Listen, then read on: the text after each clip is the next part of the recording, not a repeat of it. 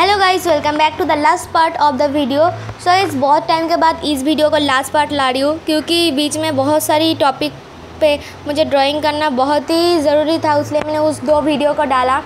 And उसलिए इस video को आने में बहुत देर हुआ। एंड इस वीडियो में मैं आपको दिखाऊँगी जो छोटे छोटे डिटेलिंग काम है, उसको हम किस तरफ़ से करेंगे। तो एट फ़र्स्ट मैंने शेडो एंड जो डार्क एरिया है, पेड़ के आसपास, उसको कर लिया ब्राउन चाइना का इस्तेमाल करके। एंड उसके साथ थोड़ा कोबाल्ट ब्लू का इस्तेमाल करके। पहाड़ी रास्ते के साइड में आप हो कि आप देखेंगी कि एक रेलिंग होती है, वो कि पेड़ के बनी होती है, कि बहुत मोटा मोटा पेड़ के। एंड अब मैं उसके ऊपर हाईलाइट कर दूँ मैं इस पेड़ का जो रेलिंग है, इसको पहले मैंने पूरा डार्क ब्राउन शाइना का इस्तेमाल करके इसको अप्लाई कर दिया था। एंड उसके ऊपर मैं अब हाईलाइट कर रही हूँ। अब मैं ड्रॉ कर रही हूँ जो रोड का जो वाइट स्ट्रक्चर है, कि दिखने के लिए जो हमारे रोड पे लगे रहते हैं येलो या वाइट सो यहाँ पर आपको प्रोस्पेक्टिव बहुत अच्छे से फॉलो करना चाहिए एंड मैंने लाइन भी ड्रॉ कर लिया।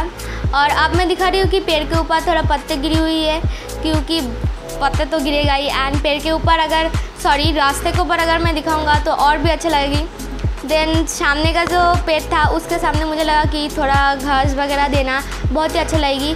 उसलिए मैं ब्लैक यानी कि डार्क शाइन के ऊपर थोड़ा हल्की करके पेड़ लगा रही हूँ थोड़ा थोड़ा ग्रास इससे क्या होगा, जो सामने का जो एरिया है, वो फका नहीं लगेगी, बहुत ही सुंदर लगेगी। आप चाहो तो कुछ और भी बना सकते हो, थोड़ा फूल वगैरह भी दे सकते हो, कुछ और भी कलर का इस्तेमाल कर सकते हो, इससे और भी अच्छा हो जाएगी।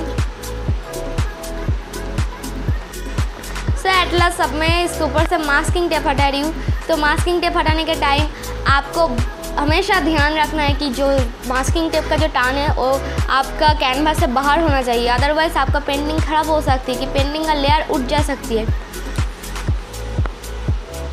एटलस अब मैं कर रही हूँ कि सिग्नेचर जो कि एक ड्राइंग के बहुत इंपॉर्टेंट है।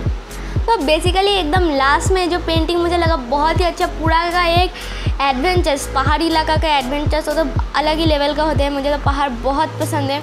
एंड इसी टाइप के वीडियो अगर आपको चाहिए तो मुझे ज़रूर बताना और चैनल पे। नहीं हो तो ज़रूर सब्सक्राइब कर देना। मिलते हैं नेक्स्ट वीडियो पे जल्दी। Thank you so much for watching